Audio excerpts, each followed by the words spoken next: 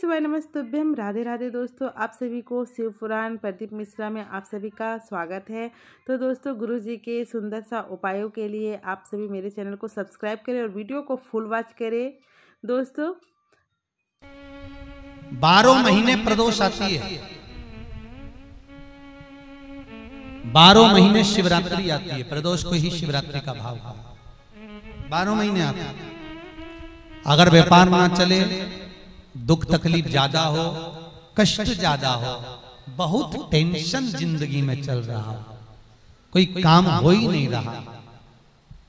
कोई दिक्कत ही दिक्कत है व्यापार सही ना चल रहा हो कष्ट ही कष्ट हो और यहाँ तक कहे अगर बीमारी ने भी घेर रखा हो और बहुत ज़िंदगी में दुख चल रहा हो कहीं मत जाना। प्रत्येक महीने प्रदोष आती है। हर महीने शिवरात्रि प्रदोष आती है। एक लोटा पानी पाँच बेलपत्र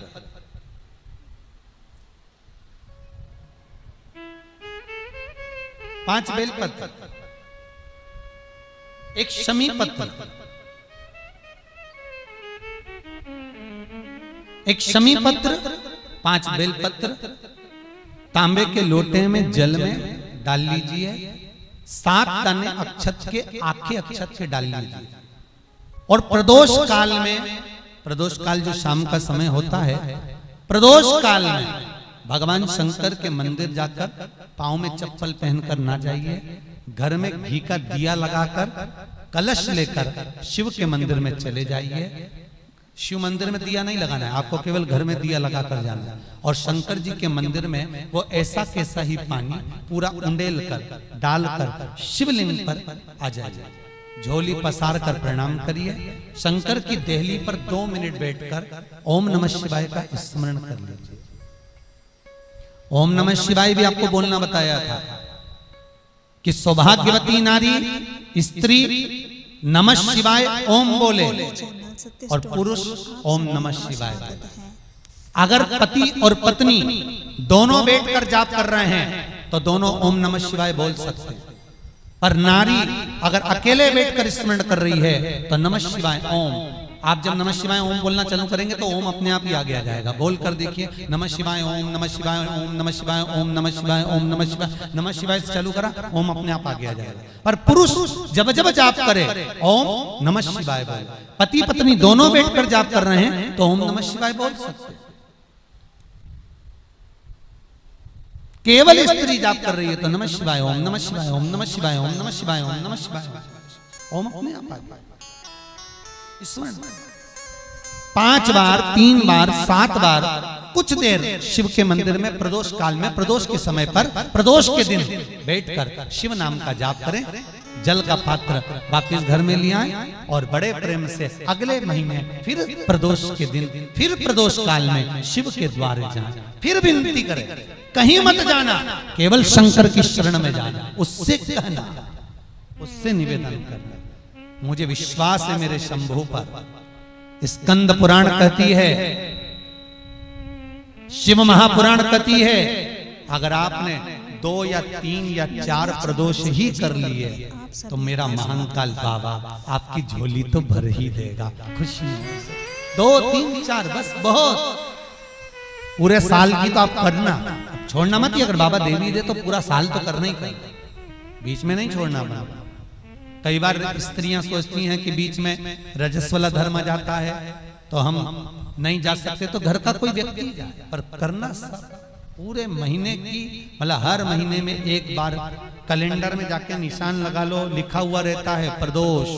निशान लगा लो कि इस दिन मुझे जाना है शिव मंदिर, नमन करना है। अपनी दिल की बात बाबा भोलेनाथ से कहना है। अपने मन का बात मुझे शिव से कहना बस विचार कर लिया और मैं निवेदन करूँगा जितने लोग जल चढ़ाएँगे और दिल से अगर आपने मांगा है तो बाबा आपको इतना धन तो ज़रूर देगा कि एक बार शिव महापुराण आप भी कराएँगे। ये पक्का। बाबा इतना तो देगा। ये विश्वास से कहता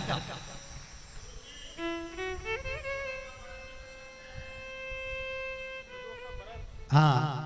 आपका मन है, करना हो तो करो, नहीं तो यहाँ तो हमारे यहाँ तो शिव महापुराण की कथा कहती है, तुम्हारा भाव पड़े वैसा करो। पर प्रदोष का जो नियम बताया है, शंकर का अनुमोदन जो बताया है, वो कर सकते शिव का स्मरण, शंकर का बाबा कभी आपको लगे कि मेरे जीवन में बहुत संघर्ष का समय चल रहा है, बहुत तकलीफ़ का समय चल रहा है, बहुत कष्ट का समय चल रहा है, बहुत जिस समय दुख की घड़ी चल रही हो, तकलीफ़ की घड़ी चल रही हो, कष्ट की घड़ी चल रही हो, बहुत तकलीफ़ हो, जीवन में चल रही हो, बहुत तकलीफ़। जब ज़िंदगी में चल रही हो, उस समय पर दो बेलपत्र और दो पुष्प।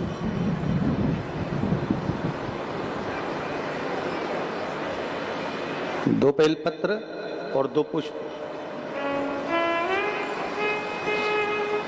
एक पुष्प लाल लेना है, एक पुष्प लाल लेना है और एक पुष्प श्वेत लेना है।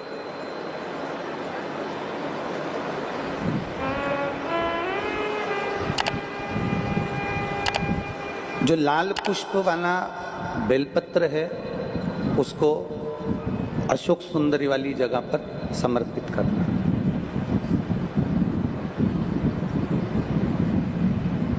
और श्वेत पुष्प वाला जो बेलपत्र है, सफ़ेद पुष्प वाला जो बेलपत्र है, उसको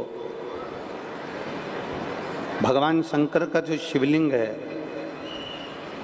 भगवान शिव का जो शिवलिंग है, उस पर समर्पित करना।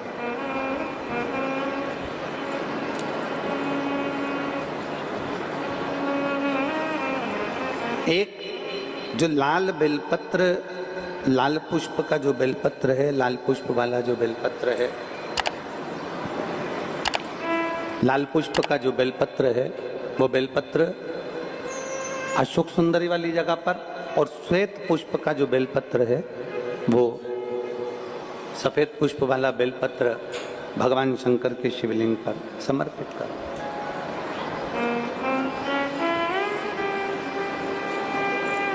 अपने दिल की कामना, अपने मन से बाबा से प्रार्थना करो, अपने हृदय से भगवान शिव को कहो और दिल से देवादित्य महादेव को कह कर आओ। दिल से, हृदय से।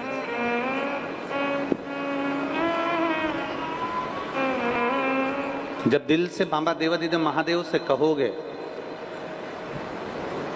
हृदय से भगवान शंकर से प्रार्थना करोगे तो देवादित्य महादेव सुनेंगे ज़रूर।